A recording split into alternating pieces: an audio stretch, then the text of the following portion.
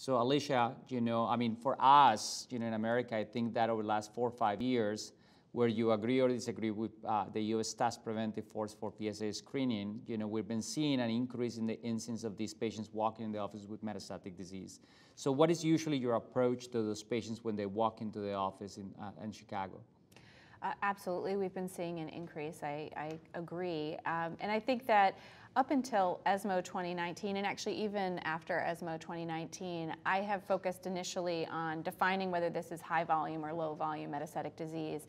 In the CHAARTED study, it was defined as four or more bone metastases with at least one outside of the axial skeleton uh, or visceral metastases. And that more or less is the definition that's been applied in several groups, though of course Latitude used a high risk definition instead, instead of high volume. Um, but that definition, I think, was what helped me decide what systemic therapy I was going to offer to, to those patients.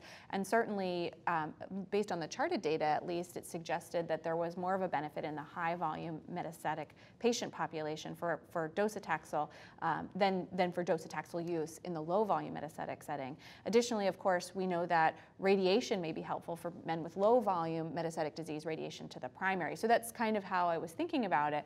But surprisingly, perhaps, at ESMO 2019, we saw STAMPEDE data that was reevaluated by that high vo low volume status. And they suggested that in their patient population, which notably was predominantly de novo metastatic rather than recurrent metastatic uh, hormone sensitive disease, there was actually no difference in, in outcome for patients treated with docetaxel, whether they were high or low volume.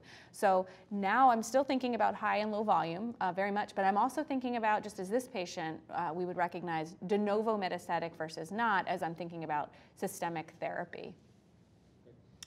So, so yeah, you know, you, you began by talking about the USPSTF controversy, and you know, I think we all recognize now that we're starting to catch up with the rest of the world, and the our incidence of newly diagnosed prostate cancer, our percentages of metastatic disease are going up, which is uh, unfortunate on a certain level. Um, you know, five to thirty percent of uh, European countries, pr patients present that way, and 30 to 60 percent of African, Middle Eastern, and parts of Asian countries, Latin American, present this way.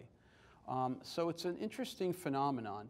And the comments that you made, Alicia, I think are really important about the recent stampede. Nick James presented this at ESMO just a couple of weeks ago, saying that, yeah, you know what, actually, we're putting forward a different uh, thought process that low volume patients can benefit from ADT and docetaxel as opposed to what the CHAARTED long term data says they could not. And there was this sort of rigid criteria, right? You know, four or more bone lesions, just kind of picked out of a hat, you know, and then one had to be axial and you had, or you had to at least have an appendicular lesion as well as axial lesions and or a, a visceral metastasis.